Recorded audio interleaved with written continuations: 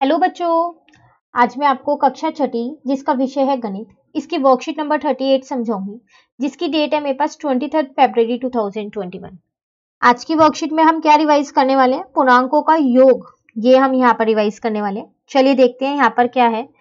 देखो, यहाँ लिखा है, जब हमारे पास दो धनात्मक पूर्णांक हो तो हम उन्हें जोड़ते हैं। कह रहा है, अगर दो धनात्मक पूर्णांक है, जैसे कि एक इन्होंने प्लस का फोर लिया, एक प्लस का फाइव लिया अब दोनों को जोड़ना है तो देखो बीच में प्लस का निशान तो लगाना ही पड़ेगा जोड़ने के लिए। तो जोड़ दो फोर प्लस फाइव कितना हो जाएगा? नाइन और ये प्लस ऐसी है देखो, आप इसके आगे प्लस लगाओ या ना लगाओ, एक ही बात है। ठीक है? खाली नाइन का मतलब भी प्लस का नाइन ही होता है प्लस का नाइन का मतलब भी प्लस का नाइन ही होता है। ठीक है ना? चलिए, दूसरा देखते हैं। कह रहे हम तब भी जोड़ते हैं जब हमारे पास दो त्रिनात्मक पूर्णांक हो, परंतु उत्तर मिश्रण माइनस चिन्ह लगा देते हैं। कह रहा है, अब अगर अगर हमारे पास दो त्रिनात्मक पूर्णांक है, हम तब भी जोड़ सकते हैं उनको। लेकिन जो हमारा आंसर आएगा ना, उसमें बस हम माइनस का साइन लगा देंगे। कैसे? जैसे इन्होंने यहाँ पर एक उदाहरण ये दे रखा है। तो देखो, ये भी त्रिनात्मक है, ये भी त्रिनात्मक है। जोड़ें कैसे? आप ऐसा करो, जो इन दोनों का माइनस है ना, उसको बाहर लिख दो। बाकी ये टू प्लस वन यहाँ लिख दो।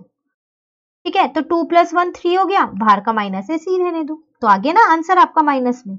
तो इसका मतलब ये नहीं है कि सिर्फ़ धनात्मक पूर्णांक ही जुड़ सकते हैं। नहीं ऋणात्मक पूर्णांक भी हम जोड़ सकते हैं। ठीक है? चलिए, आगे बढ़ते हैं। यहाँ कह रहे हैं, जब हमें एक धनात्मक पूर्णांक और एक ऋणात्मक पूर्णांक को जोड़ना हो तो हम इन पूर्णांकों को संख्यात्मक मानों को देखकर घटाना चाहिए। परंतु उत्तर के साथ वही चिन्ह लगाएँगे जो बड़ी संख्या के साथ लगा है। अब यहाँ पर ये क्या कह रहे हैं?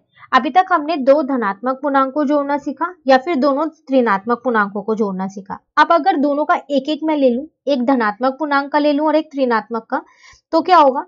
तो देखो, जैसे इन्होंने एक उदाहरण लिया ये वाला। ये लिए, ठीक है? अब इसको आप पता है क्या करो? एक चीज़ आप हमेशा ध्यान रखना, जैसे ये दो साइन है, एक प्लस और एक माइनस है, ये दिख रहा है आपको? तो हमेशा यहाँ पर माइनस का साइन आएगा। हमेशा। प्लस और माइनस के बीच में अगर हमारे को एक साइन लगाना है, वो हमेशा माइनस का आएगा। ठीक है?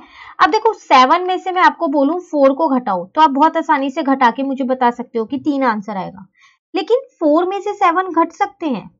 छोटे नंबर में से बड़ा नंबर तो कभी भी नहीं होता ना माइनस है ना? अब देखो फोर तो छोटा है, लेकिन सेवन बड़ा है। ये, यही तो लिखा हुआ है फोर माइनस सेवन अगर मैं आगे का प्लस का साइन हटा दूँ तो। अब इसको कैसे घटाएँ? तो जैसे हम बड़े में से छोटा घटाते हैं ना, वैसे घटा देते हैं। तो सेवन में से फोर घटाया तो तीन ही आएगा। बस एक छोटी सी चीज़ आपको यहाँ करनी होगी, वो क्या? अब जब आप छोटे में से बड़ा घटा रहे हो तो आगे बस माइनस का साइन लगाना है और कुछ नहीं करना। ठीक है? इन्होंने जो कंसेप्ट बताया आपकी वर्कशीट में जो है, वो है आप इसको दो पार्ट्स में तोड़ दो। तो देखो, अभी छोटा नंबर है सेवन तो आप इजिली उसे तोड़ भी पा रहे हो फोर और थ्री की फॉर्म में। लेकिन अगर ये बड़े नंबर आए तो ये थोड़ी सी दिक्कत हो जाएगी। तो ये कंसेप्ट ज़्यादा आसान है। आप इसको क्या करो प्लस माइनस हमेशा याद रखो माइनस होता है। और एक चीज़ और ध्यान रखनी है बस कि छोटे में से जब भी बड़ा नंबर हम घटाएँगे तो आंसर तो वही आएगा जो हम नॉर्मली माइनस करते हैं जैसा। बस आगे साइन माइनस का लग जाएगा। ठीक है? चलिए, अब एक और चीज़ कह रहे हैं। संज्ञा, संख्या युग्म फाइव और माइनस फाइव में संख्याओं को जोड़ने पर शून्य प्राप्त होता है। ऐसी संख्याएँ एक दूसरे के योज्य प्रतिलोम कहलाती हैं। कह रहा है, अगर मैं फाइव में माइनस फाइव को जोड़ू। तो देखो, एक है प्लस का, एक है माइनस का है। तो ये तो कट जाएगा ज़ीरो आंसर आ जाएगा, शून्य। तो ये संख्या होती क्या है? ये योज्य प्रतिलोम संख्या कहलाती है। ठीक है? तो योज्य प्रतिलोम में आपको करना क्या है? अगर प्लस का नंबर दे रखा है तो उसका योज्य प्रतिलोम माइनस का होगा। जैसे कि प्लस का थ्री इसका योज्य प्रतिलोम माइनस थ्री होगा। अब मैं कहूँ माइनस फोर तो इसका योज्य प्रतिलोम प्लस का फोर होगा। उल्टा करना है, बस साइन पलटना है। ठीक है? चलिए, कुछ क्वेश्चंस दे रखे हैं, वो देख लेते हैं, आसान आसान से क्वेश्चन से। कह रहा है, निम्नलिखित का योग ज्ञात कीजिए। आपको योग निकालना है। पहले में आपसे यहाँ कह रहा है सेवन और माइनस सेवन ये तो वही हो गया योज्य प्रतिलोम। तो जब दोनों को जोड़ते हैं तो क्या आता है? हमारे पास ज़ीरो तो ये तो सीधा ज़ीरो आ गया। ठीक है ना? अब उसके बाद अगर हम दूसरा देखें यहाँ तो कह रहा है फाइव प्लस यहाँ माइनस ट्वेल्व है। अब देखो, अभी मैंने आपको बताया था कि अगर प्लस और माइनस एक साथ हो, हमेशा आपको माइनस लिखना है। अब यहाँ तो फिर वही बात आ गई। फाइव छोटा है और ट्वेल्व बड़ा है। छोटे में से बड़े को कैसे माइनस करें? तो जैसे आप करते हो माइनस वैसे कर दो। ट्वेल्व में से फाइव जाएगा तो सेवन बचेगा। बस आगे माइनस लगा देना। क्योंकि छोटे में से जब भी बड़ी संख्या को हम घटाते हैं तो माइनस का साइन लगाते हैं। ठीक है? चलिए, उसके बाद थर्ड देखते हैं। माइनस नाइन है। एट प्लस फाइव है। तो माइनस नाइन इन दोनों को जोड़ूँगी तो मेरा थर्टीन आ जाएगा।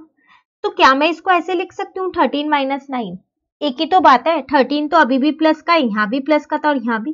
तो थर्टीन में से जब आपका नाइन जाएगा तो कितना बचेगा? फोर तो आपका आंसर फोर आ गया। ठीक है ना? चलिए फोर्थ वाला देखते हैं। Minus twelve plus minus twelve दो त्रिनात्मक पूर्णांकों को जोड़ रहे हैं। तो माइनस बाहर ले लेते हैं, इन दोनों को अंदर छोड़ देते हैं, जोड़ देते हैं। तो ये आ गया माइनस का ट्वेंटी फोर ऐसा भी हमने ऊपर एक उदाहरण भी किया है। क्या है ना हमने उदाहरण? चलिए, उसके बाद फोर्थ भी हो गया लास्ट फिफ्थ और देखते हैं यहाँ। Minus one minus eleven minus ten तीनों ही माइनस के हैं। तो ऐसा करते हैं माइनस को बाहर ले लेते हैं और अंदर इन तीनों को प्लस का करके लिख देते हैं। ठीक है, नहीं ठीक है? ऐसे ही कर लेते हैं। ठीक है तो अब जब आप इन्हें सबको प्लस करोगे तो ट्वेंटी टू आएगा। बाहर का माइनस ऐसे ही लगा दो। तो ये आपका हो गया क्वेश्चन नंबर वन कंप्लीट ठीक है? क्वेश्चन नंबर टू में कह रहा है आपसे 125 और माइनस वन का योग ज्ञात कीजिए। अब आपको योग निकालना है। किन किन का? क्वेश्चन टू यहाँ करते हैं।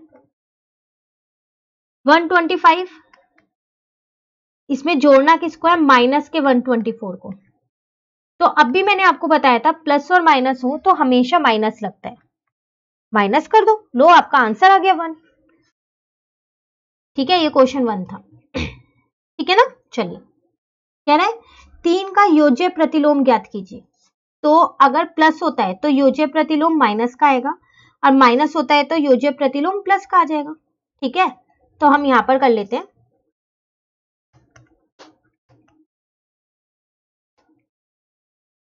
तो तीन का योज्य प्रतिलोम। कितना आएगा? माइनस तीन। ठीक है? क्वेश्चन फोर में भी यही कह रहा है माइनस फोर का योज्य प्रतिलोम ज्ञात कीजिए। तो माइनस फोर का निकाल देते हैं तो क्या आ जाएगा? प्लस का फोर आ जाएगा। जो माइनस है वो प्लस हो जाएगा, जो प्लस है वो माइनस हो जाएगा।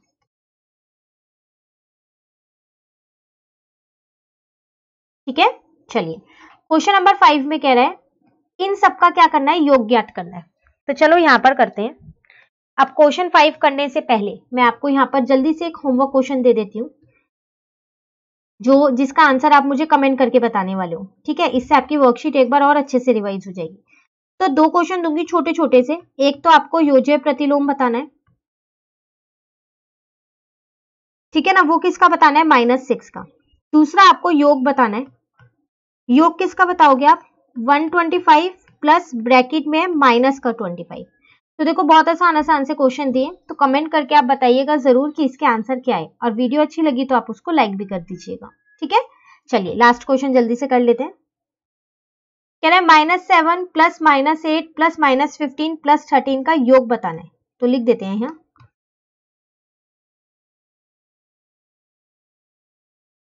पहले ना मैंने क्वेश्चन ही उतार लिया, ऊपर से, यहाँ से ये वाला सेम है।